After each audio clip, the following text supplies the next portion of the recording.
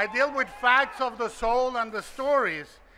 And uh, as a, as a, as a Mexican, receiving this star is a gesture, and no gesture right now can be banal or simple.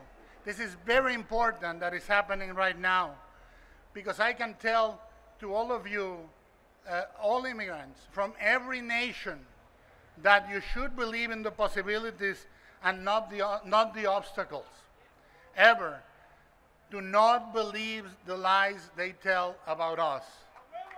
Believe, believe in the stories you have inside and believe that we all can make a difference and we all have stories to tell and we all can contribute to the art and the craft and the world in any way we see fit. Thank you very much. Thank you.